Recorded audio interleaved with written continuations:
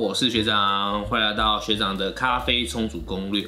那今天学长呢，嗯，就不跟大家讲新手法了。为什么呢？因为呃，最近非常多网友一直在询问学长说，哎，学长那些手冲手法那么多，但是我的给水一直不稳定，这件事情呢，会不会对我的手法造成影响？其实学长可以很肯定的各位就告诉各位哈，稳定的给水绝对对你的手冲是有帮助的哈。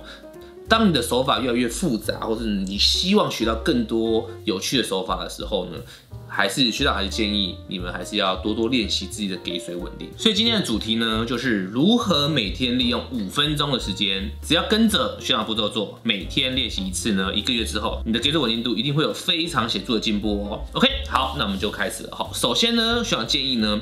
呃，你这个练习你不要太过于刻意啦，因为太刻意就很累嘛，所以需要建议你就是，OK，我们每天要冲咖啡，对不对？冲完咖啡以后呢，你的呃会有残粉，就是冲完以后的咖啡渣嘛，对不对？咖啡渣先不要丢掉吼，然后用你的手冲壶装到你平常喜欢用的水量，比如说你平常装六分满、七分满，你就装到一样的水量，好，那。利用这个残粉，然后进行一个简单的练习哈。那当然，无论你是用什么手冲壶，今天用飞乐壶、Smart 力的壶，或是各式各样的细口壶、粗口壶都没有关系哈，就是你平常喜欢用的的手冲壶就可以了哈。那我们练习的步骤呢，其实非常的简单。OK，好，那就原则上我们分为三种水量，好不好？点滴法我们今天先不讨论哈，我们先讨论的是大、中、小水，各分为三个步骤。OK，就是呃中间单点注水。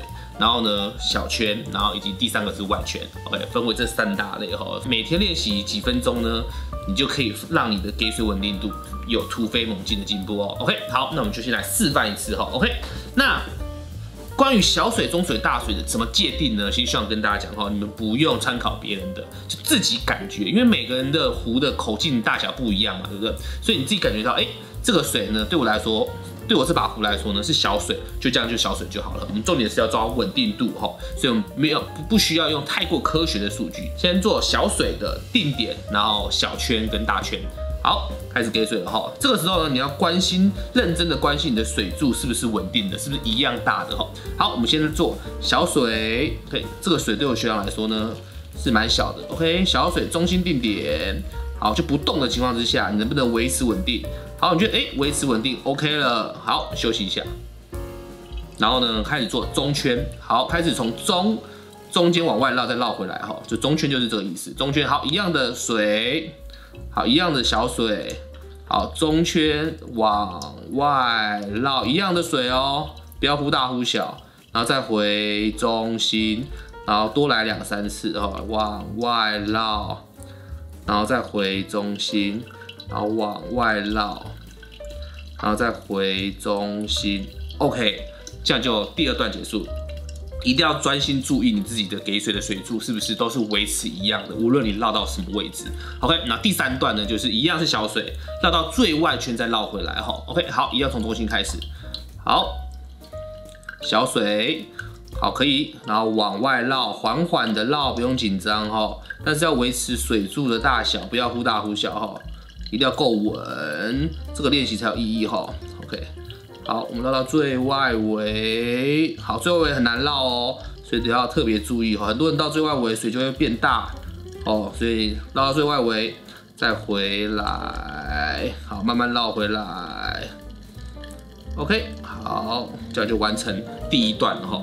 这样可以了解说，这是小水的，呃，从。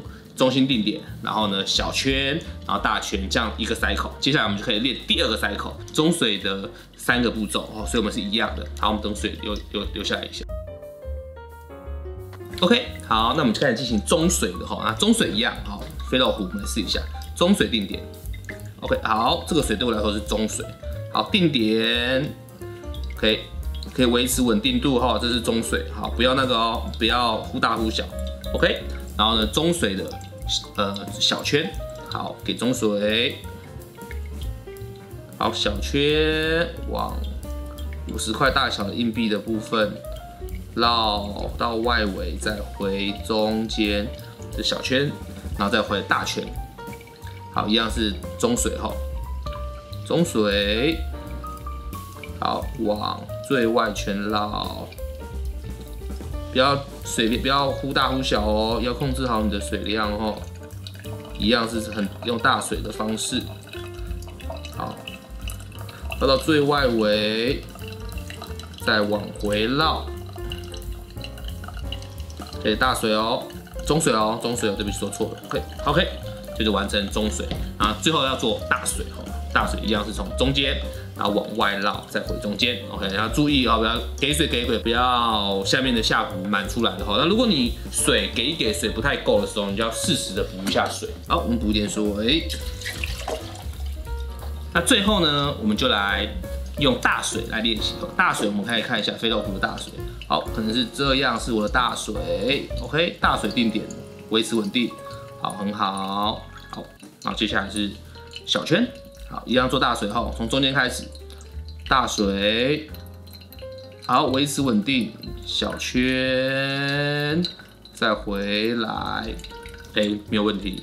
好，然后最外圈，好，大水哦，好，大水，维持稳定，好，快速的往外绕圈，